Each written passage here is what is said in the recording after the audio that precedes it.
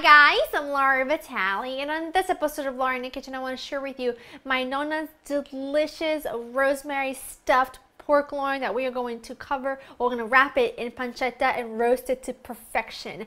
Now this was requested by you guys on my vlog channel so if you don't follow us on my vlog channel, on our vlog channel, you definitely should. We are a ton of fun. Not, really, well, we are. But anyways, this is an incredible simple recipe and this is my nona. This is how she makes her pork loin. I'm just adding some pancetta but first you'll need a good three pound pork loin. It's got a thin layer of fat on top which you want that. I also have some thinly sliced pancetta. I've got some fresh rosemary. Look at that beautiful thing parsley, tons of garlic, salt and pepper, olive oil, some white wine. I'm using my white wine that I got in from Club W this month, um, which you definitely should check out Club W if you haven't already. I will leave a link down below. And you'll need a lemon. Lemon is optional. I like it. I dig it, so I'm adding it. Okay, so the first thing you want to do is get your oven preheated to 400. What I have here is a roasting pan with a wire rack because I want the roast to sit a little bit higher. I don't want it to sit directly um, in the baking, in, in the roasting pan because we are hoping to get lots of juices to have like a little bit of sauce to go with it. Okay, let's get started. Now in my little teeny tiny food processor, I'm going to add my rosemary. Now this is a lot of rosemary, probably the, the leaves of two sprigs. Obviously, it, this, this giant sprig of rosemary isn't common, but if it is that you're wherever you live, then by all means use one giant sprig. But you are looking at about, when you pack it all up, it'll be about two tablespoons, two and a half to three tablespoons of rosemary. That is going to be the flavor base of this fantastic little, it's like a mixture between a paste and a pesto. You know, it's not thick enough to be a paste, but it's not thin enough to be a pesto. It's phenomenal.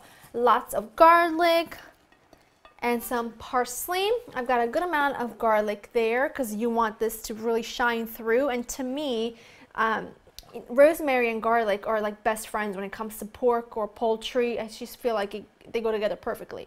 I'm going to add a few tablespoons of olive oil. This thing is, is pouring out so slowly. We might be here for the next month and a half, but Rest assured I'm going to get a few tablespoons of olive oil out of this.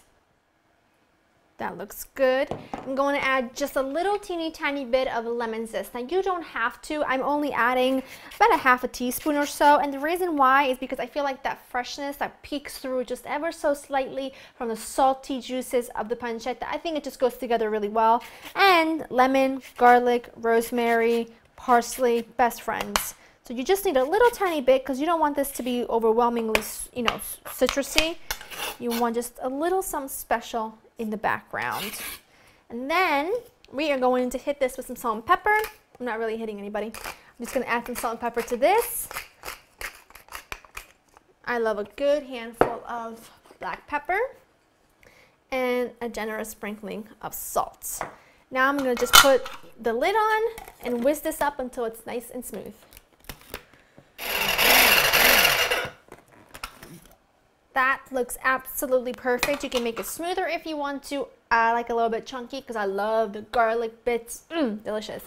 Okay, I've got this beautiful piece of pork loin here. It's about three pounds and it does have a thin layer of fat here which you can totally remove if you want to. However, I feel like there's a big misconception when it comes to pork loin a lot of people think that it's because it's pork, it's really fatty, it's really greasy, but I don't think it is at all. In my opinion, it's actually quite lean, and if you don't put a little bit of fat on there, it can be really dry. So I like to leave a thin layer of this because it's all gonna cook up and melt and be delicious. If you don't eat pork, you can substitute this by using just a couple of large turkey breasts like we did in my stuffed turkey breast video not too long ago. You could certainly do that and then completely omit the pancetta. But that's just felt like putting it out there. So what I'm going to do is I'm going to open up my pork loin here. Essentially, like we're going to do like we're opening up a book. Except we're not going through all the way because you don't want to open this up all the way. You want to just get this nice and flatten out once you have it butterflied like a book, we are not going to pound this out because I don't think it needs to be. Now, I just washed my hands because I'm going to go ahead and season this and you don't want to get dirty, porky hands into the salt container. So I'm just going to season this with some salt and pepper. Not too much salt because we did add a good amount of salt to our little pesto mixture there, if you will. Just a little bit because you want to make sure everything is well flavored. And then you're going to take this glorious mixture. Think of it like the massage oil for your pork loin. It's going to be fantastic. And these are flavors that I very much grew up eating uh, with pork and poultry and things like that. So these are total, like really all up my alley. But if you wanted to add things to spice things up a bit, by all means, go ahead and do that. That is what it should look like. And as you can see, I mean, this smells incredible. You really should be here for this. It smells amazing. Now I'm leaving a little bit of a border right here on the edge on my left side here because what I'm going to do is I'm going to roll this up just like so. And it, the extra oil mixture will push out. So you can just go ahead and pop this back in because when it all cooks together, it doesn't really matter. Just place my pork right there for a second and I have got some kitchen twine that I cut into pretty big pieces and I'm just laying them across my board because now what I'm going to do is I'm going to take my pork, which if it unrolls, it's totally fine. Push these together to make sure it all fits well cover this like so. Really simple, really easy, and you also flavor the outside. And then you're going to take these beautiful pieces of pancetta and you are going to cover this whole, like the whole top and sides. You don't have to do the bottom. You just want to do the top and sides of your pork, overlapping a little just to make sure that you have every little bit covered because this is going to be so delicious. Look at that. It's like it was meant to be. That slice is a little bit thin, but that's okay. And then you just take your kitchen twine and you tie it. I don't do any fancy schmancy tying. I just do literally a couple knots. You don't want to do too tight, otherwise it will do the opposite and completely burst if it's too tight. So I just like to do about five or six just to ensure that this is going to keep its shape.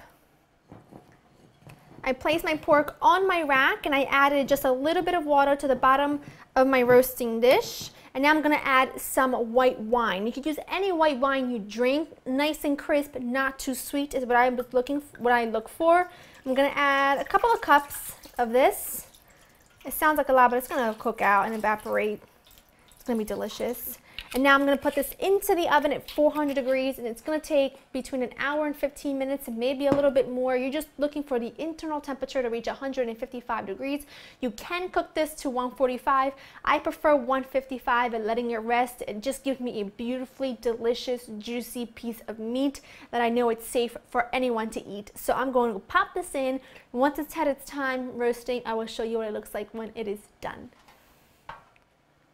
My roast was in the oven for about an hour and 25 minutes. I checked on it and it was perfect, 155 degrees Fahrenheit, and I let it rest for a good 15 minutes. I took the pan juices and I put them into my fat separator. And I'm just going to keep those there for now because I'm going to just drizzle a little bit of the juices from the bottom, not the fat, the juices from the bottom over it once we have carved it. Now I'm just going to bring this closer to me, take my kitchen uh, scissors and snip off the twine. Oh, look at the crispiness. That is going to be so good. I can hear the crackling of the pancetta. Look at that. Mm. Now it's time to do your best and cut this baby up. If the pancetta starts crisp, you know, kind of crumbling a little bit, look at that. If I pinch it, you can still see how juicy that is. You see the juices? That's how you know it is perfectly cooked. I love this recipe. And I love cooking any kind of meat to the right temperature. And for me 155 is the right temperature. You can cook it again to 145 it's totally okay. I just prefer 155 I feel like it's delicious and moist and those herbs and that garlic and the pancetta. I mean it is a feast for the eyes and definitely for your taste buds. Absolutely worthy of being on your holiday table without a doubt, or any table really, any time of year. It doesn't have to be a holiday table, but I wanted to share this recipe with you because I feel like it's easy to do, feeds a crowd, and pork loin tends to be kind of inexpensive around this time of year. Oops. Oh, you know, the pancetta fell off. Oh. Mm, I know. You feel very bad for me right now that I just had to eat that. Mm-mm-mm. Just gonna take a little bit of the fat out and then just pour the juices down. Be very careful because you don't want it to go into the fat. You just want to pour the juices. And I mean, look at that. All the brown bits from the bottom of the roasting tray. All we did is put, all I did was put these in the fat separator and that was it. And that is pretty much it. Started from the bottom, now we're here. We poured the juices out, we kept the fat in there, and I just so happened to have a little piece here that didn't make it on the plate. Ugh, I can't wait. I mean, look at that. I mean, it's just, it's, it's juicy. The, the herbs, perfection on every bite. Mm-hmm. That's what I'm talking about. Delicious. Easy. This is my happy dance. LauraInthekitchen.com will have the recipe. Hope you enjoy spending time with me. And I will see you next time. Bye-bye.